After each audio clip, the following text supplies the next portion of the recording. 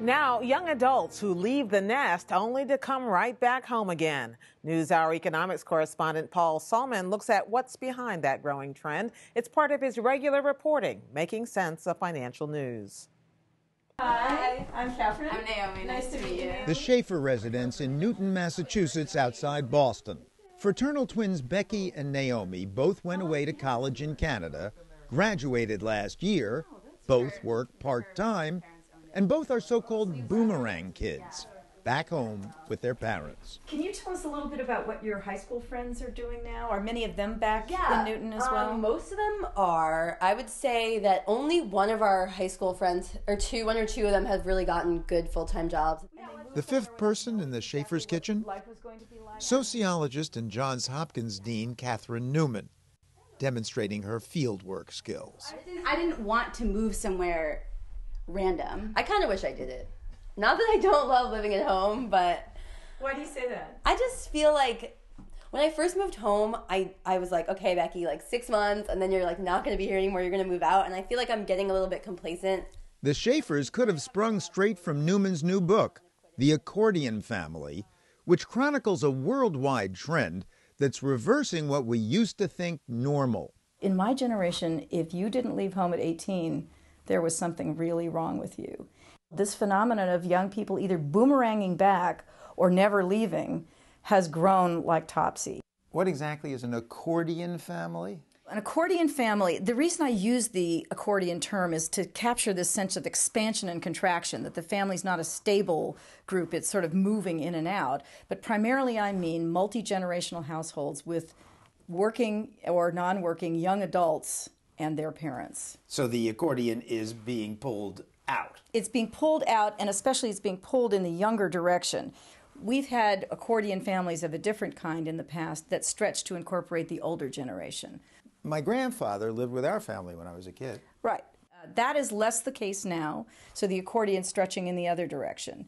And when you tie that together with the recession, which is making everyone so anxious about the economic future of rising generations, it's a recipe for panic in many cultures. The culture most alarmed, Japan's, which calls its boomerang kids parasite singles. The one featured in this TV show looks like he's pushing middle age. In Japan, it is provoking really almost hysterical reactions. Why?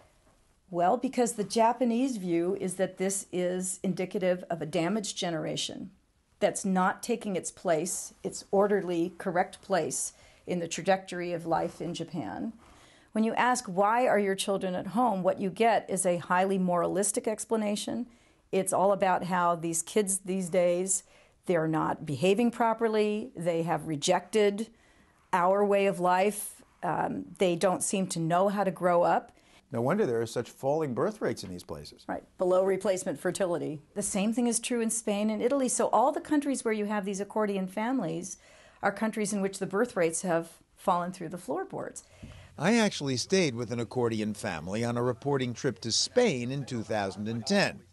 High youth unemployment meant that more than half of all 20 and 30 somethings were back home, including the son of my friend, journalist Jose Martinez Soler.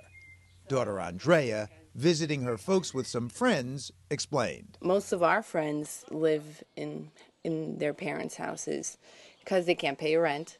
Like your brother living here. Yep, like my brother. Like his brothers, he has uh, four brothers, and three of them are still living with his parents. Really? Which um, his oldest brother is 32, and he's still living with his parents.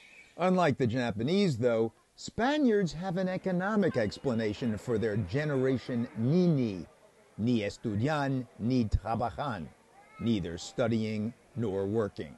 They will say, My child is still at home because the government liberalized contracts, rubbish contracts, that's the phrase they would use, rubbish contracts, that permitted short term employment, part time wages, and within less than a decade, a, huge chunk of Spanish youth were found in those kinds of jobs, short term, part time.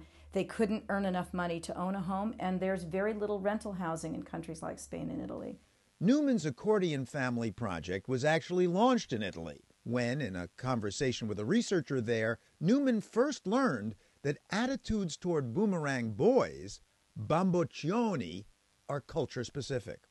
You know, we're just talking about our families. What do your kids do? What do my kids do? And she said, Well, my son, he's 35, and, and I, you know, clean his room every day, and I take care of his laundry, and I was trying to control my reaction and say, gee, that's really interesting, rather than what I was thinking, which was, are you crazy?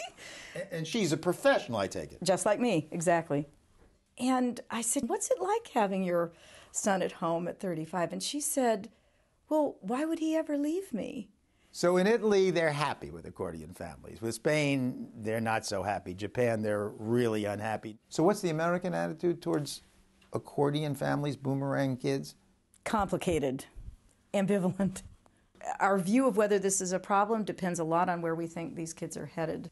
But where they're headed these days is impossible to predict. Evan Melillo had a BA in history as of June 2009. A job in town government, a town just north of Cape Cod, didn't pan out, so. I went on Craigslist and I looked up every tutoring assistant teacher, subs, you know, anything with even remotely I think I applied to um, a driving school. um, and uh, so far, I got uh, two emails back. Making just $72 a week, he'd moved back home, where his older brother had lived for years. In December 2010, he found steady work as a substitute teacher and is now also pursuing a graduate degree, all the while living at home if your children come home and they're making tracks toward the future, and it seems like a very reasonable likelihood that they're going to be fine, then families feel quite comfortable about it. But if it feels indefinite, if it's not clear it's going to work out, if their plans don't materialize, that sets off a wave of anxiety in American households. And we tend to make that nervousness rain down on them in the form of persistent questions. Did you did you apply for jobs today? Did you look for that master's degree program and, and try to negotiate very delicately some form of parental encouragement. Prod, a parental prod. There are some silver linings to this. If your child is not leaving home, then you're not becoming older. You might be biologically older, but sociologically, you're not.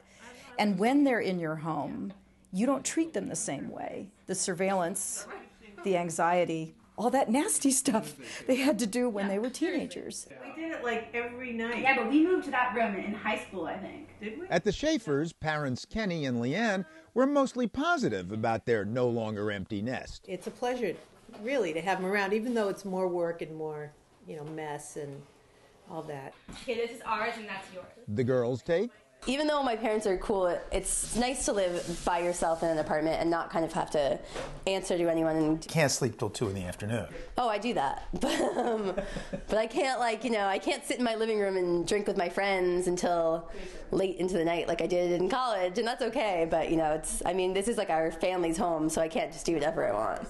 I'm here indefinitely. There is this notion that you ought to be moving on in your life. Yeah, however, seeing that the job market isn't ideal, I'm not in a rush to find something to do to start my career. So until I figure that out, I'm not going to do anything drastic.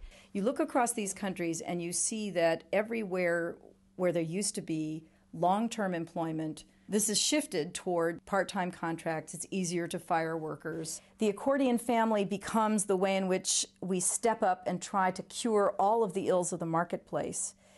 And we make the best of it. And I think we actually deserve some pat on the back for doing so. It's an indication of the resilience of American families that we do so. But it has its limits. Both kids, or two of your three kids, back home? Would you prefer them to be living on their own? If you ask me the same question in 10 years, yes, I might right. have a different answer. But right now, I well, like having them home a lot. If this reaches 28, if this reaches 30, and they still can't see their way to an independent future, I think we will start to draw the line and really worry in very profound ways about where the country is going. And in very many ways, I think that's exactly where we are right now. We're not sure where we're going economically and what the future will hold for the next generation. Hey, who is sure about the future these days?